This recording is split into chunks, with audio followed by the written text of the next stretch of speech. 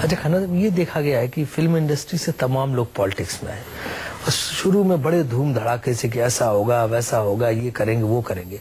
बाद में अगर साउथ इंडिया को छोड़ दिया जाए तो नॉर्थ इंडिया की पॉलिटिक्स में जितने भी फिल्मी लोग आए सब ऑलमोस्ट फ्लॉप होके रह गए। इसी first of all Amitabh Bachchan देखिए पॉलिटिक्स से वापस चले तो गए। आए थे उस वक्त। शत्रुघ्न सिन्हा एमपी बन के बेचारे रह गए हैं अभी तक। तो इस तरह से देखा गया कि वहीं तक सीमित मैक्सिमम एमपी बन गए। इससे ज़्यादा क्यों नहीं बढ़ पाए? जबकि साउथ में आप देखिए, चीफ मिनिस्टर बने, केंद्र में मिनिस्टर बने, जयललिता जैसे मास बेस्ड लीडर निकल आए वहाँ से। इसी बॉम्बे में भी अगर हमारी फ़िल्म इंडस्ट्री सपोज़ पंजाब में होती, पूरी इंडस्ट्री पंजाब बेस्ड होती तो ज़रूर मुझे लगता है वहाँ भी चीफ मिनिस्टर फ़िल्म इंडस्ट्री से होता। नहीं फिल्मी लोग सक्सेसफुल क्यों नहीं होते पॉलिटिक्स में? नहीं अभी क्यों नहीं है? अभी शत्रुघ्न सिन्हा ने जो किया है बहुत अच्छा किया पार्टी के लिए उसने बहुत काम किया है। हर जगह गया है आपका भी खूब लिया जाएगा आगे से। नहीं नहीं ज़रूर हम हम तो काम करने ही आए हैं ना। लेकिन इफ़ यू आर गिवन कभी सरकार बनी नहीं बीजेपी की तो फिर शत्रुघ्न की पोस्ट कैसे होती? अब पोस्ट अगर पार्टी में तो पोस्ट हो सकती थी। पार्टी में तो पोस्ट है उसकी। क्या पोस्ट नहीं पोस्ट मतलब ही गोज ना he is person gets office bearer तो नहीं है। ऑफ़िस बेरर में भी उस वो चाहता नहीं ऑफ़िस बेरर बनने की राजेश खन्ना है वो भी बिना मंत्री बने रह गए राजेश खन्ना खैर you know i don't know how serious everybody is about politics and doing good work because after all party को भी पता होना चाहिए कि आप कितने सीरियस हैं। वो जब आए तो काम ऐसी बातें करते थे कि नई दिल्ली को सिंगापुर बना देंगे। अच्छा। नई दिल्ली वहीं की वहीं है राजेश खन्ना साहब भी वहीं की वहीं है। ऐसे कहीं विनोद खन्ना साहब वहीं के वहीं रहे और गुरदासपुर भी वहीं का वहीं रहे? नहीं ये तो अभी सी मैं मैं तो उतरा हूँ काम करने के लिए। अब जो मुझे अ, पार्टी कहेगी करने के लिए मैं अपनी कॉन्स्टिट्यूंसी के लिए तो काम ज़रूर करूँगा। सी बाकी जो आप कहते हैं मिनिस्टर बनना है वगैरह वगैरह that is up to the party खाली मिनिस्टर बने जो स्ट्रेचर पॉलिटिक्स में जाना चाहिए पकड़ होनी चाहिए मास बेस्ड लीडरशिप वो क्योंकि फ़िल्म के साथ क्यों लाए जाते हैं? क्योंकि ग्लैमर जुड़ा है और फ़ैन फॉलोइंग कि भाई इनको देख के भीड़ आएगी कंपेन में फ़ायदा होगा। इसलिए पॉलिटिकल पार्टीज़ लाती हैं। तो अगर जो साउथ इंडिया में जो पॉलिटिशियंस आए, उन्होंने उसी उसी अपने ग्लैमर को या उसी अपने क्रेज को उन्होंने मास बेस्ड पॉलिटिक्स में कन्वर्ट कर दिया। वो चाहे एम जी रामचंद्रन हो, वो चाहे जयललिता हो, वो चाहे एन टी रामाराव हो। लेकिन हिंदी फ़िल्मों के किसी भी आदमी ने निकल के नहीं कर पाया। जैसे एक तो मैं बताऊँ, इसकी भी रीजन है कि एक तो फ़िल्म इंडस्ट्री को भी बैकवर्ड रखा गया है यू नो आज तक we have not got any support from the government आज तक फ़िल्म इंडस्ट्री इंडस्ट्री का स्टेटस भी नहीं मिला है हमको हमारे यहाँ कोई फाइनेंशियल इंस्टीट्यूशन नहीं है जो कि फ़िल्म फ़िल्म इंडस्ट्री को फाइनेंस करे तो ये इंडस्ट्री को दबाया गया है एंड आई थिंक अभी टाइम आ गया है कि इसको उभारे हैं इस इंडस्ट्री को क्योंकि हम लोग बहुत इन्फ्लुएंस करते हैं लोगों को थ्रू फिल्म्स ये जो पॉलिटिकल पार्टीज़ हैं वो फिल्मी लोगों को ज़्यादा सीरियसली नहीं लेती हैं। उनको लगता है शो पीस है इलेक्शन के वक्त इसको घुमा दो भीड़ हो जाएगी वोट ले आएगा कंपेन करेगा। इससे ज़्यादा क्या है इसके? नाचने गाने वाले लोग हैं इससे ज़्यादा इनको क्या दिया जाए? नहीं खैर ये तो आप कह रहे हैं मगर आई डोंट थिंक ऐसे ऐसे सोचते हैं पॉलिटिकल पार्टी पॉलिटिकल वर्ल्ड में यही परसेप्शन नहीं, but- खासतौर से चाहे वो वो चाहे कांग्रेस हो पार्टी को ऐसे लगे कि ये हो, पार्टी के लिए ये। पार्टी के लिए काम कर रहे हैं ये सीरियस हैं पॉलिटिक्स के बारे में एक नेशनल यूनिटी के बारे में नेशनलिज्म के बारे में अपने देश के लिए। तो नेचुरली पार्टी आगे करेगी उनको? अगर उनको ऐसा लगा कि ये सीरियस ही नहीं है ये काम कर ही नहीं सकते। कई बार फिल्मी लोग जो पॉलिटिक्स में आते हैं वो दो नाव में पाँव रखते हैं।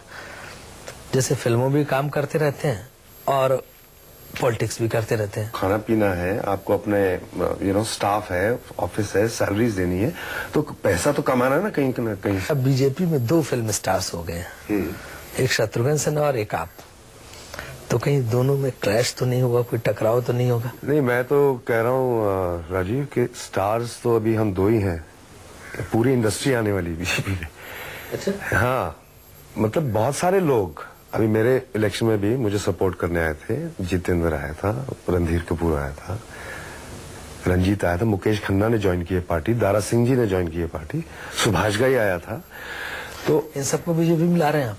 नहीं लाना मतलब कि है सपोर्ट है। वो सामने आते हैं एज मेंबरशिप बीजेपी के मेंबर बनते हैं कि नहीं मुझे पता नहीं है। लेकिन सपोर्ट तो है मुझे पूरी इंडस्ट्री का।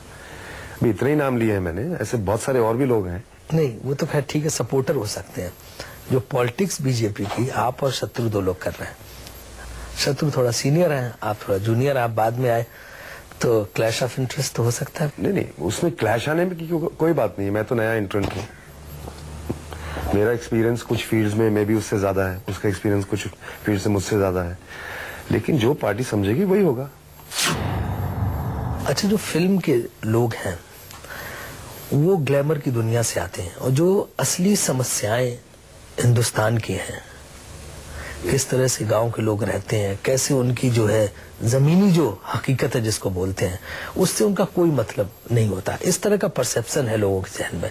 आप इस परसेप्शन को कैसे तोड़ पाएँगे? काम करके दिखला के सी अगर आ, अगर सब कुछ ठीक गया जिस तरह से मैं सोच सोच रहा हूँ तो मुझे लगता है कि हम गुरदासपुर को एक मॉडल कॉन्स्टिट्यूंसी बना के दिखाएँ। हर किसी का कोई ना कोई एक आइडियल पर्सन होता है। आपके हिसाब से आपको सबसे ज़्यादा श्रद्धा किस नेता से है? जिसके आदर्शों पे आप चलना चाहेंगे जिसको आप एक आदर्शवादी नेता मानते अडवाणी जी नहीं। अडवाणी जी भी ऑफ़ कोर्स बट एक कहा ना आपने। तो नंबर वन पे वाजपेयी वाजपेयी जी। अच्छा पॉलिटिक्स में ऐसा ही देखा गया है कि जो भी पॉलिटिकल पार्टीज़ हैं, वो मैनिफेस्टो तो इस तरह का बनाती हैं कि भाई ये बिल्कुल पार्टी विद डिफरेंस है, इसमें हम ये करेंगे, हम ये करेंगे, हमारा इकोनॉमी का कॉन्सेप्ट ये होगा फॉरेन पॉलिसी ऐसी होगी, हम इन इन प्रॉब्लम्स को ऐसे डील करेंगे।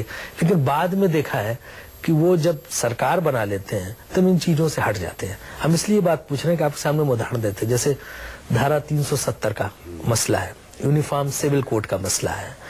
ये सारी बातें आज आप बीजेपी के जिम्मेदार एमपी हुए हैं। इन सब पे क्या रुख पार्टी का होगा और आपका क्या रुख होगा? जी आज किसी भी कंट्री को ले लीजिए जो डेवलप कंट्री माना जाती है जो पावरफुल कंट्री आज मानी जाती है तो वहाँ सिविल कोड है। Everywhere there is a civil code मतलब उनके लॉज डिफर नहीं करते रिलीजन के तो ऊपर यहाँ भी आपके हिसाब से यूनिफॉर्म सिविल कोड होना चाहिए। होना चाहिए यस मे बी इमीडिएटली नहीं ला ला सकते आप। लेकिन होना ज़रूर चाहिए। और अयोध्या के मसले पे? वो भी पीछे हो गया अभी। It's not something that is in the front वैसे ये धर्म के नाम पे लोगों को इस तरह से लड़ना चाहिए चाहे वो अयोध्या हो चाहे काशी हो चाहे मथुरा हो। एक पर्सनल ओपिनियन तो आप आप भी ये अज्यूम कर रहे हैं कि धर्म के नाम पे ये हो रहा है नहीं ये इशू रेज किए जाने चाहिए आपके हिसाब से। क्योंकि फ़िल्म इंडस्ट्री तो सेकुलरिज्म का बड़ा भारी ताना बाना है।